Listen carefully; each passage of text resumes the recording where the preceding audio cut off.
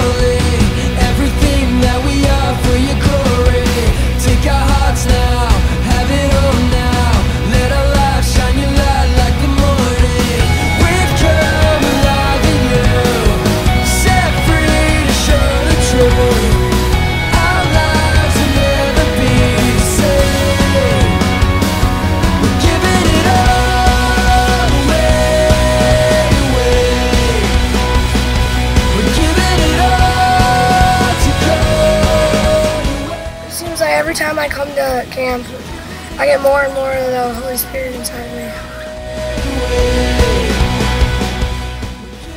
I guess the Holy Spirit was just keep on coming and filling up everybody around me. I felt like uh, I was a new person and I wasn't the same after that.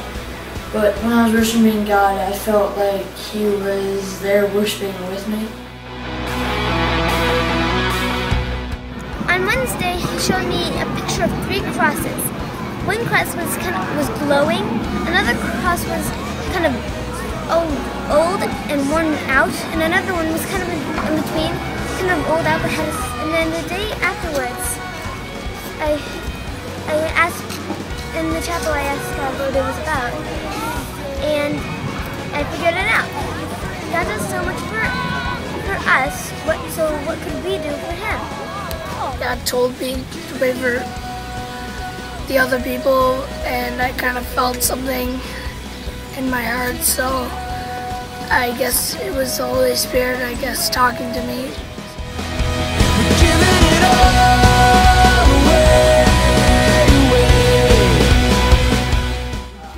Camp is a great way to, to uh, see God and hear God and be touched by God.